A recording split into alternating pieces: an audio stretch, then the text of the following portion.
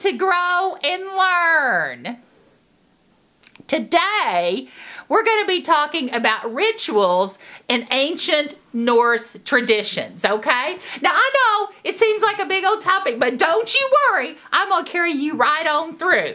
Now, I tell you what, just recently I was visiting at a friend's house and I found this thing. Look at this thing. She said it was a puppy I don't think that's no puppy. I don't know what that is. Who would make such a creature? Look at them big old whiskers. I don't know. And look, his head's all floppy. Poor little thing. Whatever he is, I think he's sick. He needs some help. Maybe somebody out there is a doctor and you can help this little critter. I don't know what he is, but he ain't no dog.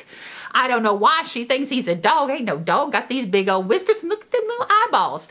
This ain't no dog. So, if you can help this little thing, you just let me know and I'll get you hooked up, okay? Thanks so much for being with me today on Grow and Learn.